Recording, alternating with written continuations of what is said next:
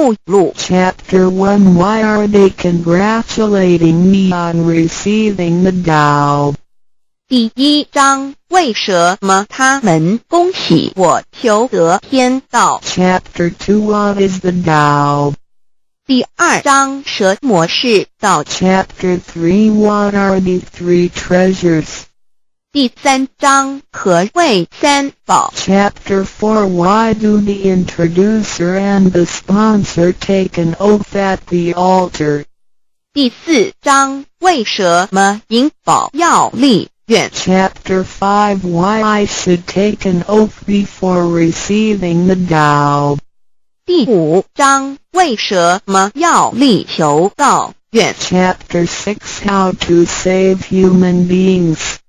第六章，如何求度众生？ Chapter 1 Why are they congratulating me on receiving the Tao ladies and gentlemen? I would like to extend my heartiest congratulations to you for this is your most auspicious day. Today you have received the Tao which is the ultimate aim of existence. All of the Buddhas and saints attained the Tao in the past and, by transcending the limitations of birth and death, had become immortal. That which you have received today is the same Tao. Formerly, one who intended to receive the Tao had to abandon worldly possessions and enjoyments. If he was a king he had to abandon his kingdom. If he was a high official he had to resign his high position, leave his family and go to the remote mountains to seek a master who would transmit the Tao to him. After much suffering he would gradually perfect his conduct, purify his mind and heart and perform many good deeds. For his sincerity, God would send Buddha to transmit the Tao to him. Under such conditions a person able to succeed was hard to find. During that period the Tao was secretly transmitted from one patriarch to another. 第一章，为什么他们恭喜我求得天道？各位先生、太太、小姐，首先让我衷心的恭喜你们，因为今天是你们大喜的日子。今天你们得了道，道是至宝，道超出了一切。每一位古圣先贤佛祖皆于古代求得天道，故他们能超出生死之界限而永存。今天你们所得的道即同他们其实所得的道一样。在古时，人要得到必须弃他在世界上所拥有之一切与享受。假如他是一位皇帝，也必须弃他的江山；假如他是一位大，他必须舍弃他的爵，离开家人，入深山寻访能够指点他途径。传授大道给他的名师，在他经历了千辛万苦之后，同时已将凡心修炼成佛心，并以达至圆满之行为，以及做了许多善事，在他至诚之下，终于感动上天之心，派仙佛来指点。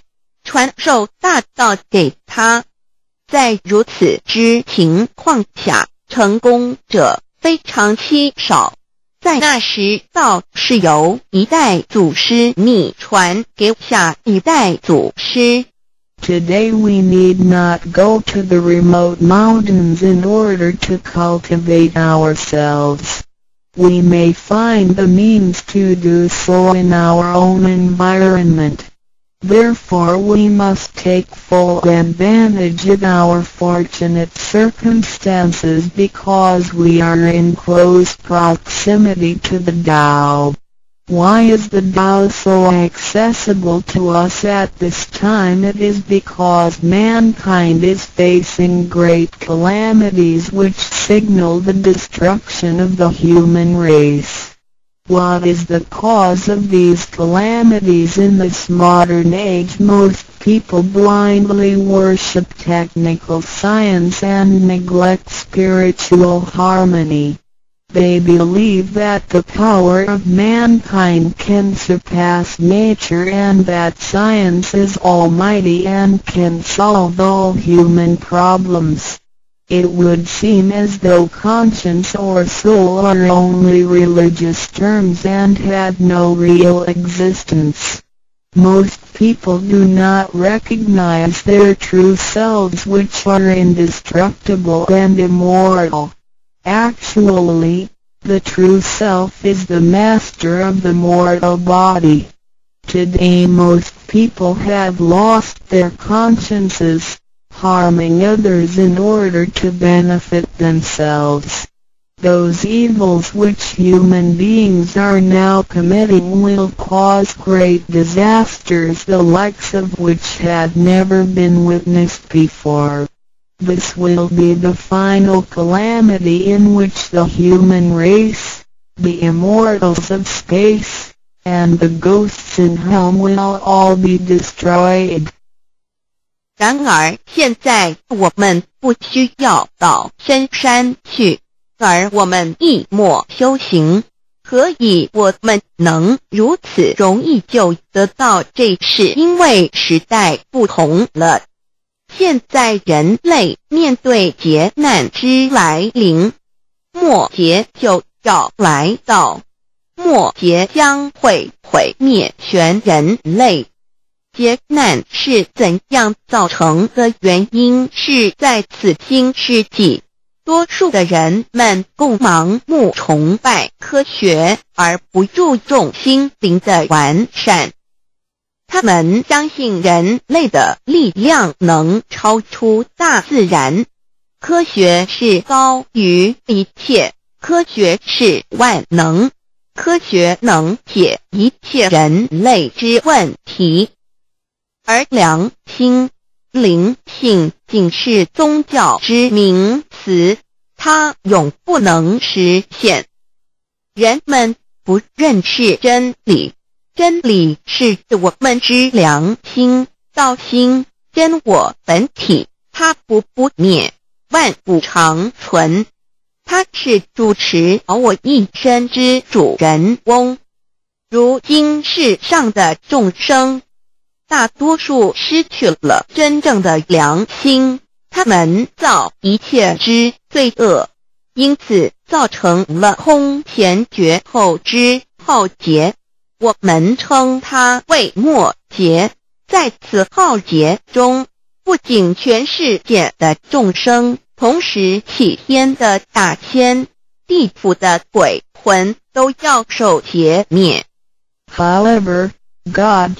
Of whose essence we are created, is merciful and compassionate and